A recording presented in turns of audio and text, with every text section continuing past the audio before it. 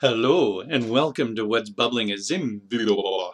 I'm inventor Dan Zen and in this bubbling we're going to take a look at what's new in Zim 9.5.0 and that is Zim Layer. Woohoo! Check this out. So what Zim Layer is, is a container that has transform tools that allows you to transform but then also go into the container and transform those objects. Cool, huh? So before you couldn't do that, because if you've turned on the transform of a layer, for instance that, you can't get to the things inside. So what we've done is uh, provided this title bar system of layers, and indeed it looks like a title bar system. If we turn off these ghosts, there they are. So there's the outer layer, here's that layer, and you can still operate in sort of without the ghost showing. The ghosts kind of keep things um, organized, perhaps. All right, so we've got these title bars that allow us to now resize the container or not resize the container and let us into its contents. These title bars move around with the layer like so, but they can get docked on the side, which is kind of cool. Now, if we want, we can dock all of these things. We can't dock it like that, but if we pick it up like so, then it ends up being docked like that. And we could drop these at the side or something, layer 1, layer, uh, layer 0, layer 1, layer 2, and now have a menu system. Oh, I want to operate that. Oh, I want to operate this one or indeed pick it up and put it wherever you want, like so. Cool, huh? If you want it docked or snapped back on there, you can drop it on its registration point, like so, or double click it, and then it pops back. So you've got to watch with double clicks. They don't work on all devices necessarily, so never count on them. Very cool, huh? Now the ghosts, by the way, if we turn off all the layers, uh, there's the layers hidden. Now how we did that is we specified a container for these title bars. And in doing so, we put the container for the title bars above the content, and that means that the title bars will always be above the content, uh, which is handy as well. Also, it means if we put these in a separate container on their own, if this one is selected, we can go into this and select it. If that weren't the case, if we just throw everything on the stage, what happens is this it gets put over top of that, which means we couldn't select that. It just all moves around with this kind of cursor like this. So we'll see that when we dig into the code a little bit. Oh, lots of things on the go here, huh? And what else is there? Um, I suppose that's pretty well it for the content, I guess, but that's really neat, huh? Isn't that cool? Let's um, dig into some code then, shall we? Maybe something else will come up. Here we are in Zim 9.5.0. You see that okay? There's the content container added to the stage, and here is the layers container. Uh, the layers container, we have this title bar going across the top there. See the title bar? So we made the layers container a little bit smaller, and that's nice because now it bumps up against the container. It's locked in, in there for us automatically, which is cool. Here's a layer and we're supplying the width, the height, what the title bar says, and the title bar's container. That is indeed this one right here, the layers. We're going to look at a bunch of other parameters, but you can see as well the layer could be uh, simplified, I suppose. 300, 400, say layer 1, add it to the layers. So there's traditional parameters. And located at 50, 50 within layer 0. Then we're adding a circle to that layer. It's just like a container. We're making another layer, much the same. Uh, we're positioning that layer in, in layer 0, and we're using the true there, which means on the right-hand side 50. then we're taking two circles and adding those to layer 2, setting the transform visible to false on that.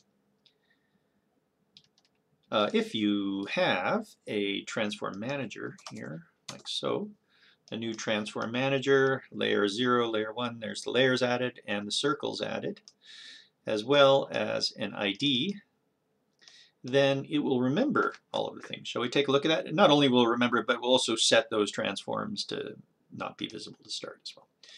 So we refresh that, and if I move this layer down here, and that layer, let's make this smaller, mm-hmm. like that, and then I refresh. Cool, huh? Refresh. So that can be very handy. All of that stuff is remembered for you.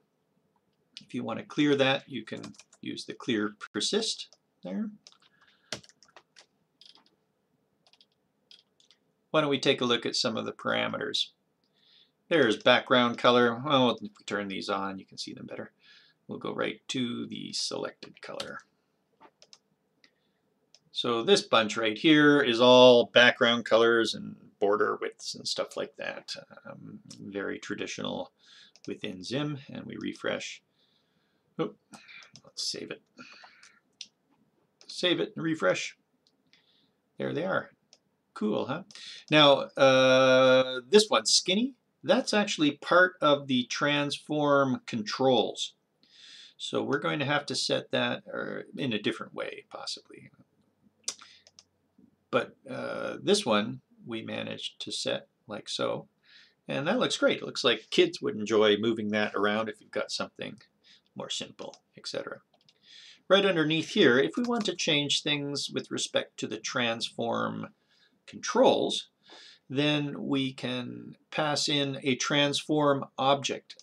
This is an object literal, or configuration object, that would be passed to Zim transform if we're transforming a circle, circle.transform, and we pass whatever we want in there. Because there's a whole bunch of parameters that we can do, such as do we want to be able to rotate it? Do we want to show the registration? Here is the, the actual transform controls border color of white and border width, etc. So let's take a look at that. If we refresh, and now we select the layer, so that purple one actually looks like didn't work. Let's save it again. What's going on with my head? Huh? I just want to show you. There we go, and refresh. Now it's a similar big white. I would probably swap those around. Maybe this is not selected and that is selected. Whatever, but you get the idea. That allows us to change things about the transforming. Oh, by the way, uh, note there's no registration point thing. This is the, the registration point thing right there.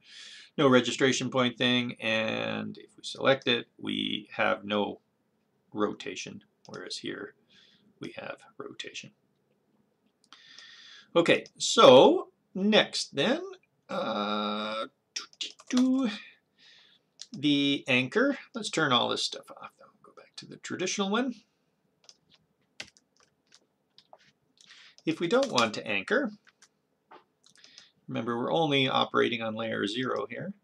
If we don't want to anchor, I can pick that up Ah, there we go. It's not it's not anchoring. Layer 1 still anchoring, and indeed layer 2 is still anchoring, but the uh, layer 0 doesn't anchor. So you may not want to anchor. It's up to you.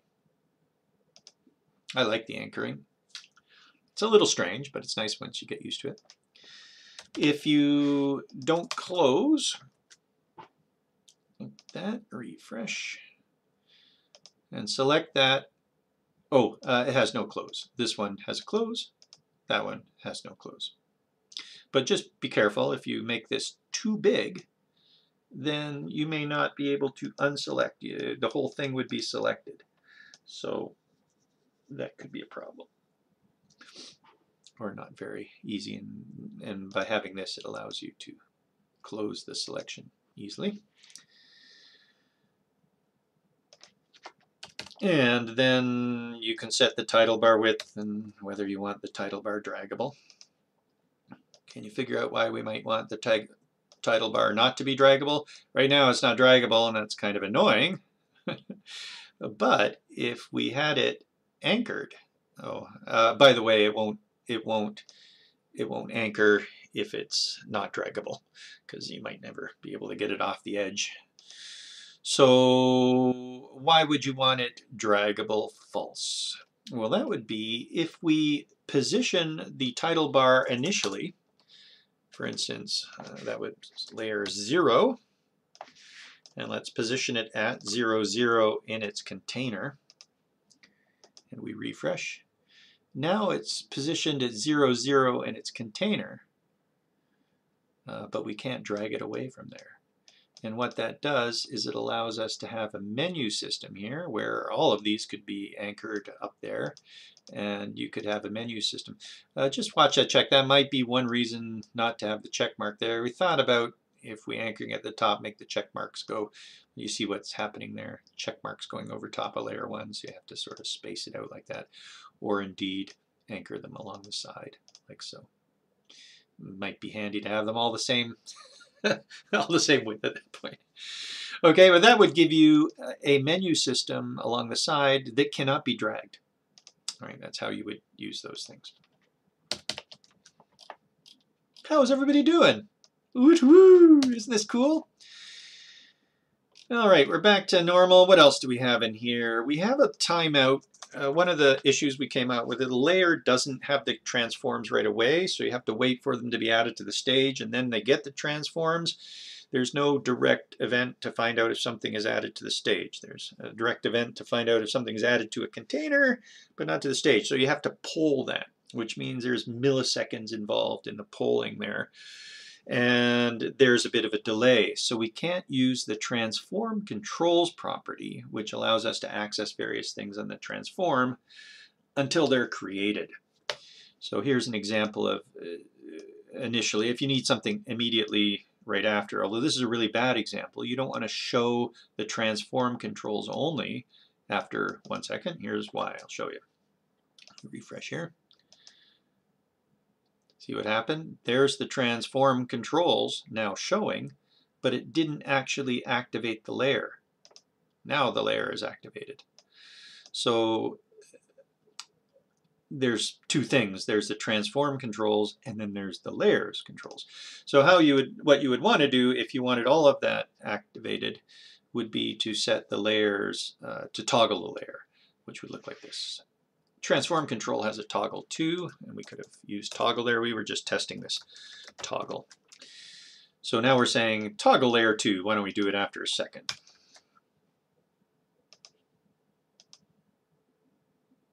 After a second, the whole layer is toggled. Toggle is, is quite easy to use. Toggle will uh, just toggle it back and forth. And that's one thing. So if we say after two seconds, toggle it again, refresh. There it toggles on, there it toggles off.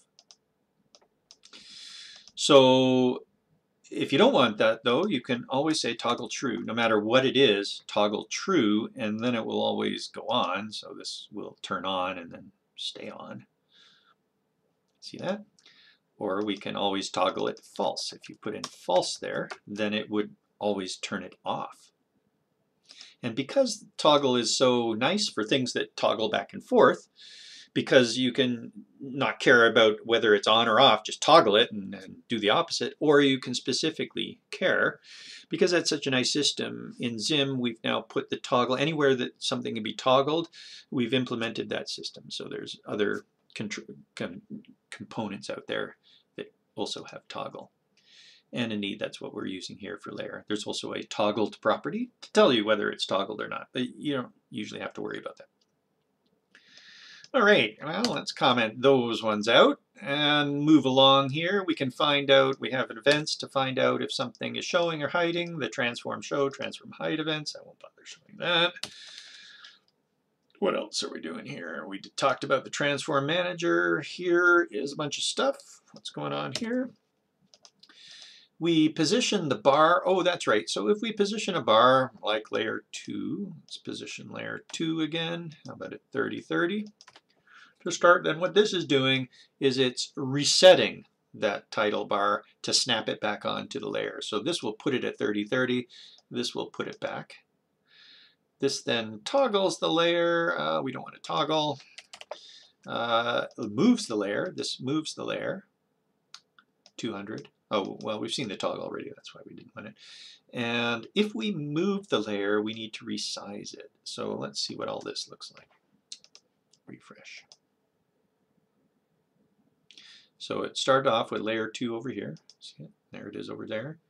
And then it snapped it back on, and then it moved the whole thing over. And now we can pick that up and operate it just fine. Cool, huh? But if we don't resize layer 2 after moving it, here's what happens. And this is the same with any of the transforms. See that? We moved it, but the transform stuff didn't go with it. And indeed, if we select this over here, it pulls everything back. It thinks that's where it's supposed to be. So if we manually move something, such as this, or setting the X property or Y property, etc., then we need to resize the layer so that it all works properly. Same with any transform, as mentioned. But obviously using the transforms on the layer, fine, that resizes it automatically. Well, that's most of this. this is coming along pretty well. Huh? Here's the checkbox up top. There's the rectangle and the label up top. Here's the checkbox. Really, the checkbox is quite simple. It's really layers.visible is equal to e.target.checked.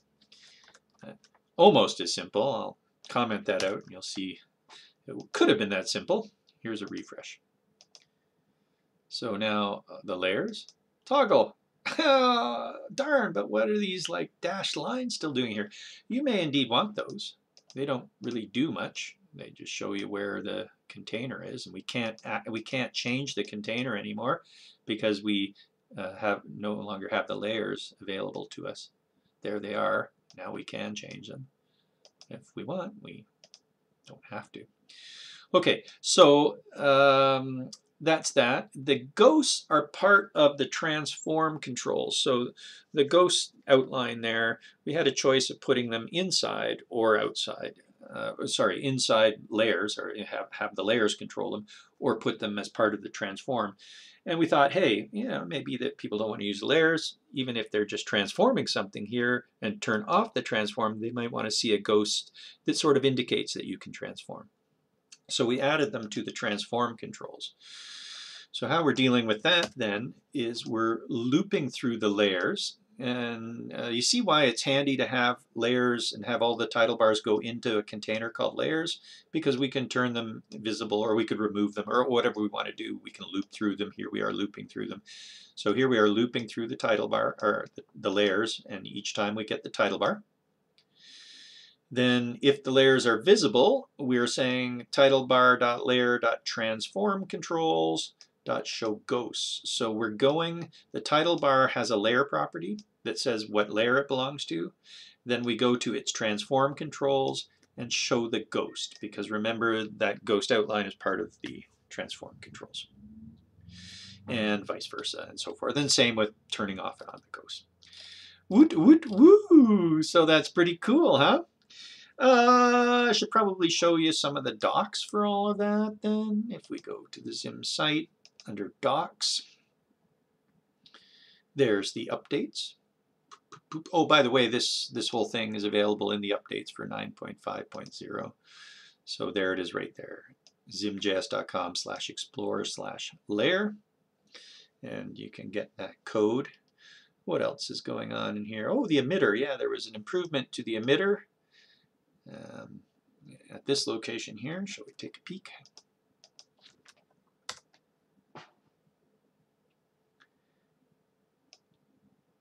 Oh, right. This is the first one of the 2018 summary of how many people see Zim site per day. If we go to the next one, this one had the emitter.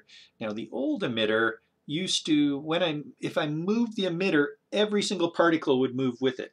And so it would look kind of silly. This one's uh, more natural where once it emits, so we now are emitting to a separate container.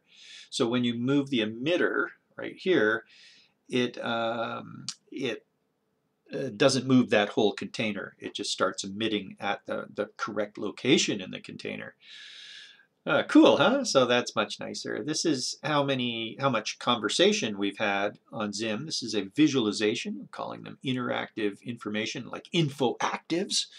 And this is how many, how much conversation we've had there. So if, if you're still here, heck, you should um, definitely be into the Zim Slack and come and talk with us. Say hello, ask questions, answer questions. You can help me out because I'm half of these. half of these are me.